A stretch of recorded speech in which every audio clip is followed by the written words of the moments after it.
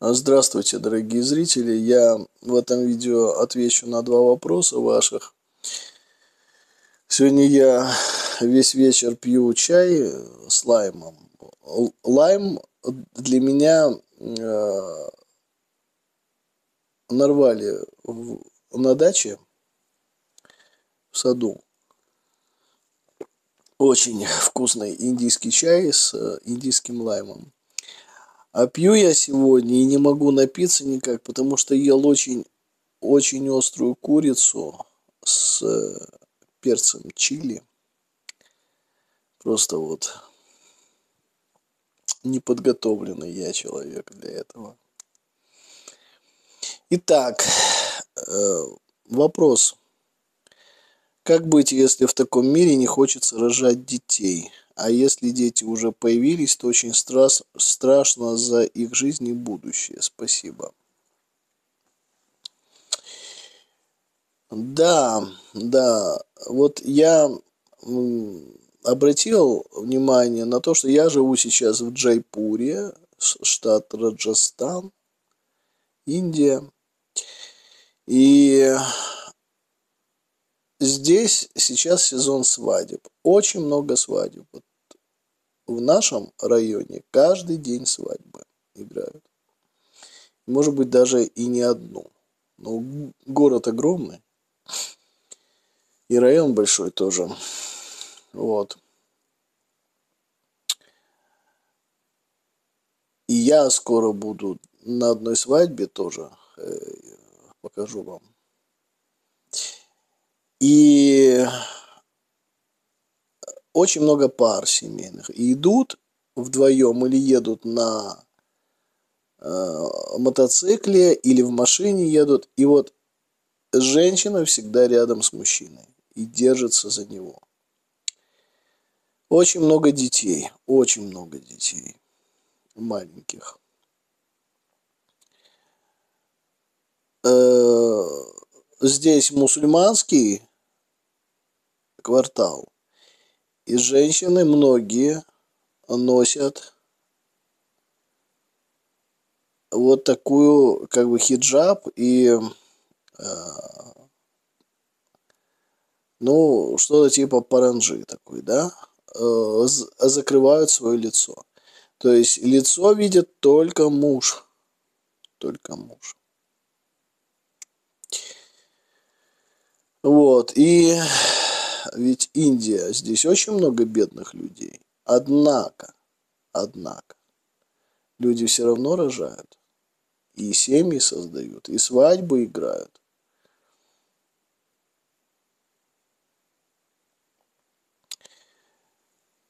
А, здесь женщины очень женственные. Они носят платья. От них пахнет женщинами. Они кроткие кроткие женщины. Они нежные, они женственные.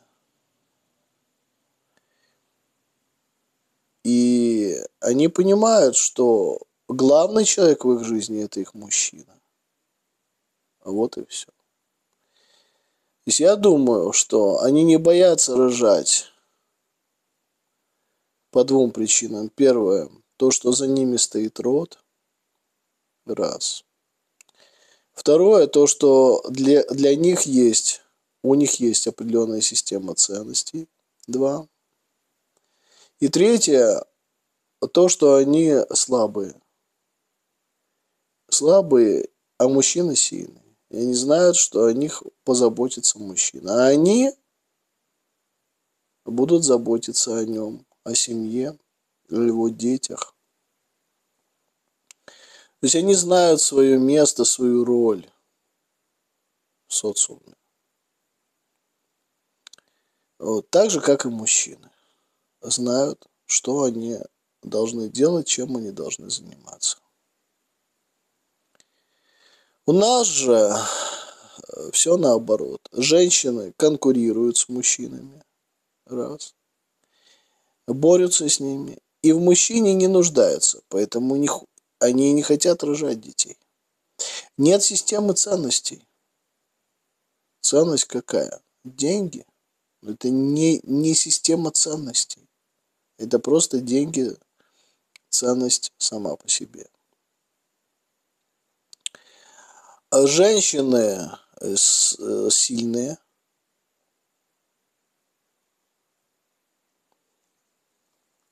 Поэтому зачем им дети?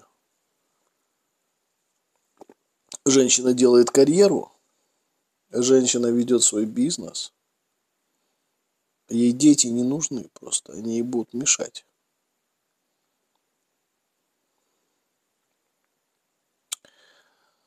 Вот. И э, эго много слишком. Слишком много эго у нас тоже. А кроткая женщина, у нее нет эго. Даже если есть оно, но она, она кроткая, она понимает, что мужчина главный. Вот. Хотя жизнь э, в Европе благополучнее, да, правильно же? Благополучнее, чем в Индии. Хотя тоже смотря у кого. Здесь ведь тоже люди живут по-разному все.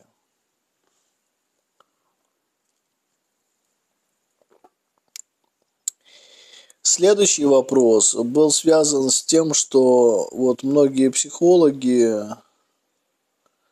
учат тому, что не надо меняться, мол, принимайте нас такими, какие мы есть, и все. Я считаю, что это неправильная позиция. И почему? Всем, кому надо, я уже нравлюсь. Но ничего подобного. Ничего подобного.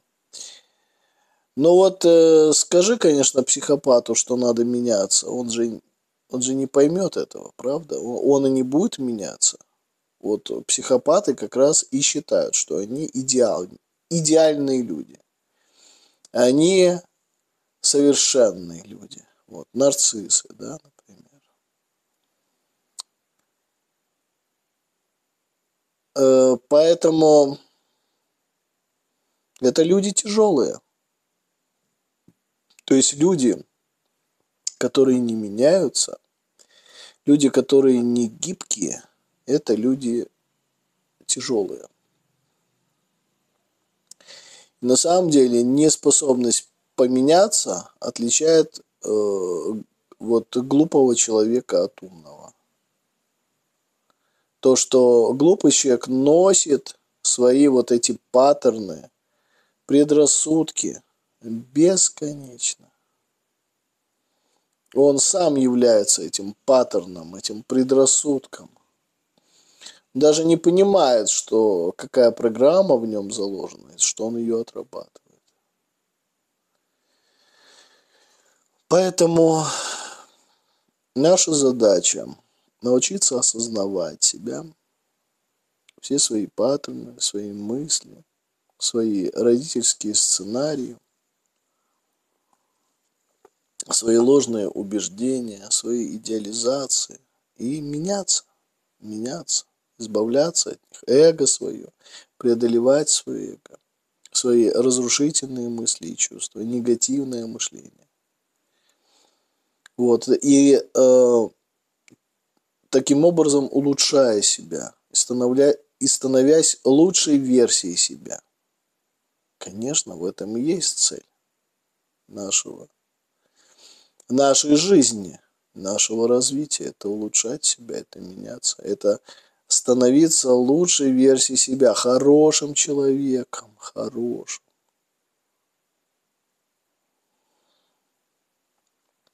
То есть прийти к любви, полюбить себя и полюбить весь мир, обрести любовь.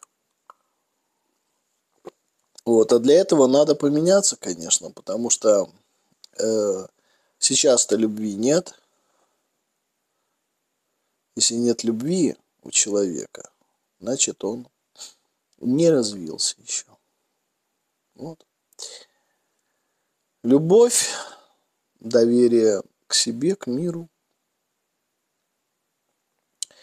Вот очень интересные вещи здесь со мной происходят. Я наблюдаю просто. Жалко, что я не записываю их. Вот, надо бы записывать, потому что так улетучивается из памяти. Но, допустим, вот какие-то события в моей жизни, а их предсказывают. То есть человек что-то говорит о себе, потом это со мной происходит. Удивительно. Это знак Вселенной. Вселенная обращается ко мне. Вот, и она э, предсказывает мое будущее. То, что со мной произойдет, чтобы я к этому подготовился.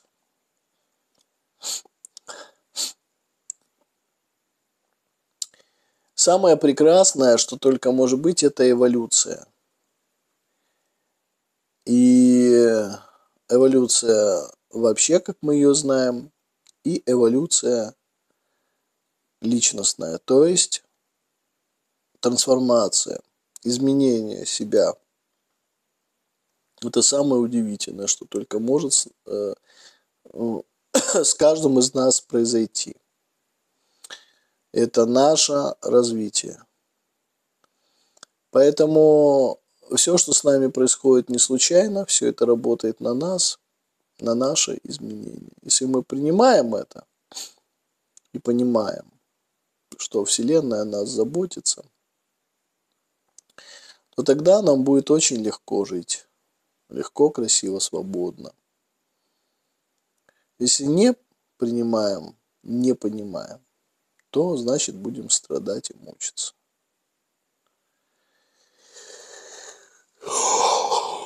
Вот так. Так что вы правы.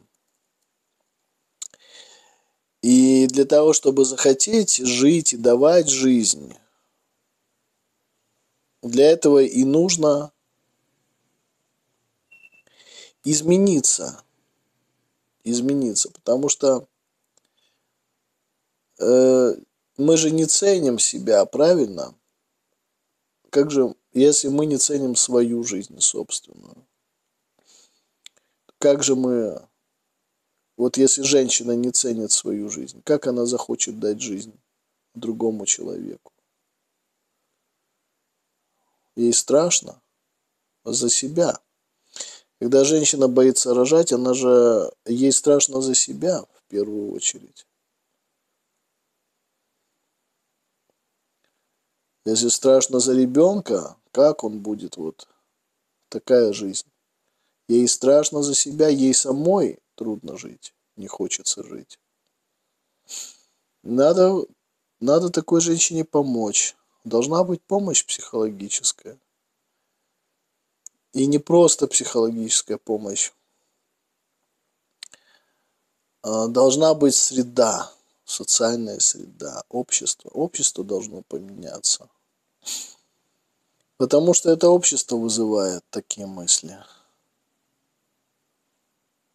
у женщин, что не хочется рожать, не хочется меняться, потому что общество, оно враждебно. И общество... И в этом обществе женщина не, не чувствует себя э, в безопасности, да, в своей тарелке, среди своих. Вот. А это отчуждение. И вот это нарастающее отчуждение людей.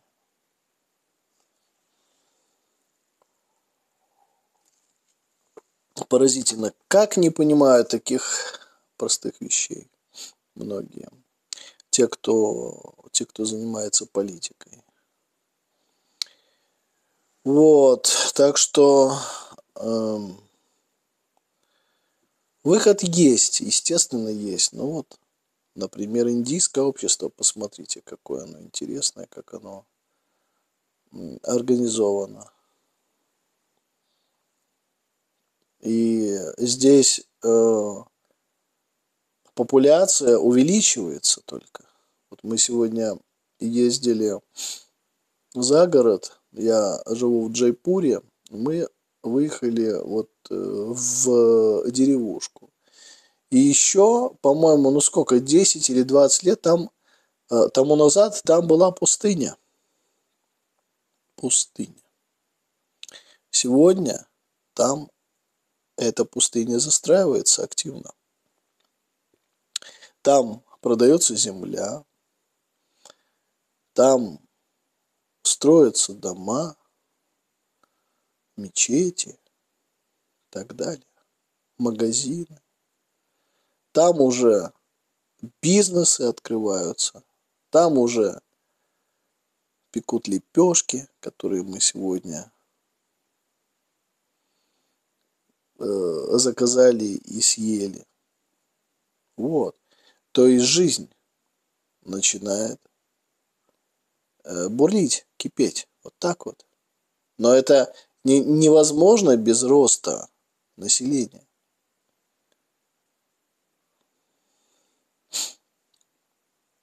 Люди выживают.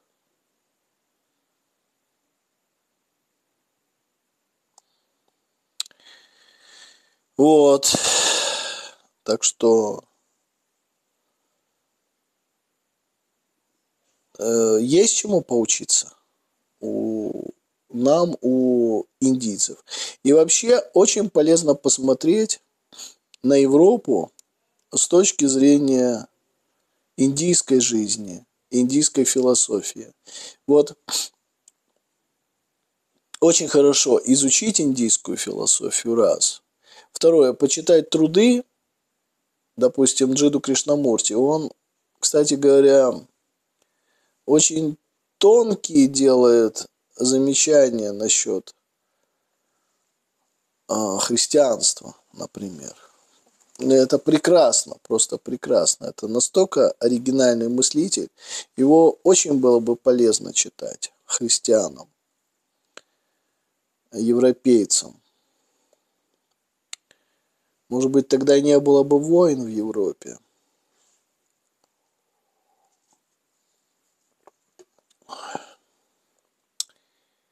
И, наконец, пожить в Индии. Пожить в Индии. И посмотреть, как тут устроена жизнь. Вот я здесь уже, сегодня у нас какое, десятое число, да? Вот я пятого приехал, вот пять дней я уже здесь. Вот. Индия на меня влияет, и я уже рефлексирую и с вами делюсь своими мыслями насчет того, э, насчет этого общества. То есть это общество не разрушают. Европейское общество разрушается. Разрушают общество.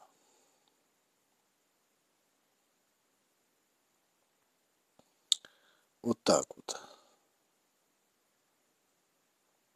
Вот чтобы я сказал на эту тему. А если общество разрушают, семью разрушают, то, конечно, кто захочет детей рожать? Как? Женщине самой придется тогда, правильно? Если ей мужчина не нужен.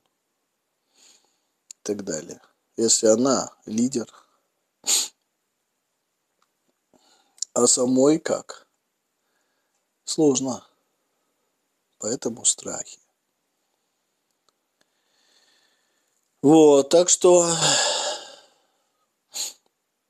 а, по крайней мере, есть всегда возможность все поменять. Все не фатально. И всегда можно организовать жизнь так, как вы хотите, и преодолеть любые страхи.